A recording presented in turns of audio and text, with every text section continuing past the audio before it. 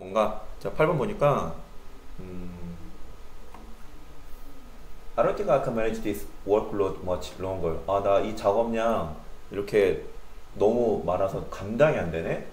Tell me about it. 뭐야 이거?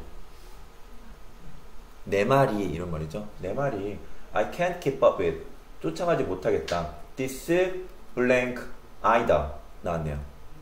자, 그러니까 this 이 속도를 못 쫓아가겠다. 페이스죠. 답은 이제 A로. range는 이건 어떤 일정한 그 범위를 나타내는 거고요. burden은 burden이 자체가 짐이죠. 그리고 diversion, diversion은 이거는 전환 바꾸는 거니까 이렇게 갈 수 있겠습니다. 음, 이런 것도 다 괜찮네요. 챙길 만한 거. me about 이거 다 아셔야 되는 그런 내용이었어요. 오케이. 그래서 8번은 A로 가시면 되겠고